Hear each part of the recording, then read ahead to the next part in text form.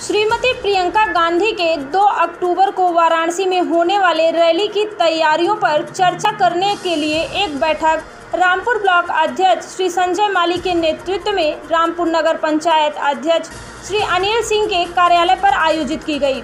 जिसमें प्रत्येक न्याय पंचायत से कार्यकर्ताओं को रैली स्थल तक ले जाने के लिए तैयारियों के रूप में रेखा को अंतिम रूप दिया गया।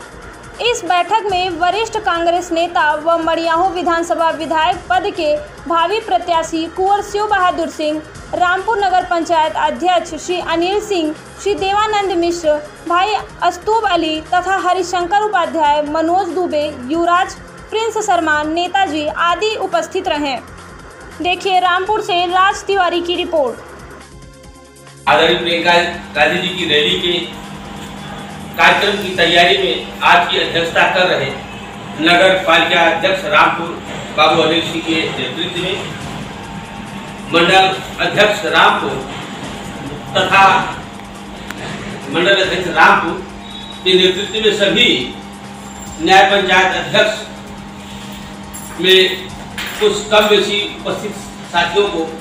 और वरिष्ठ कार्यकर्ताओं को और हमारे ज़िले के प्रभारी भाई प्रजापति जी साकिब भाई, सिकंदर अली जी अद्भुत अली जी, हमारे अमित दुबे जी,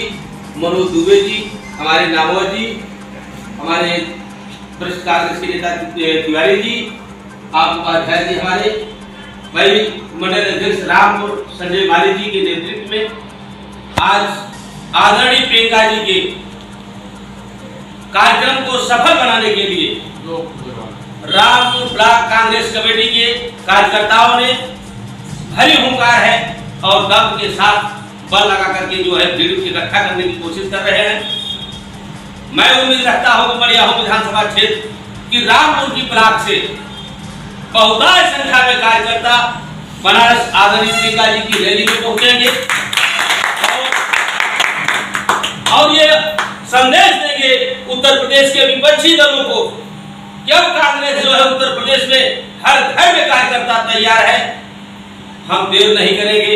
हमारी सरकार बनेगी और दूसरों को हम बहुत पीछे हटा देंगे। आने वाले समय में अभी चुनाव छह महीने है।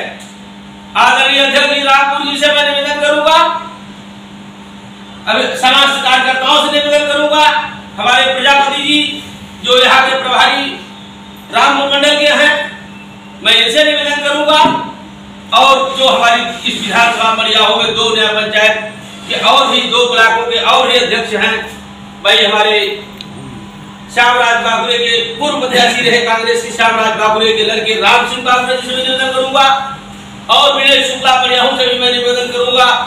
कि आप लोग मरियाहू विधानसभा क्षेत्र से इतने कार्यकर्ता इतने कार्यकर्ता निकाल दो कि जो बनारस में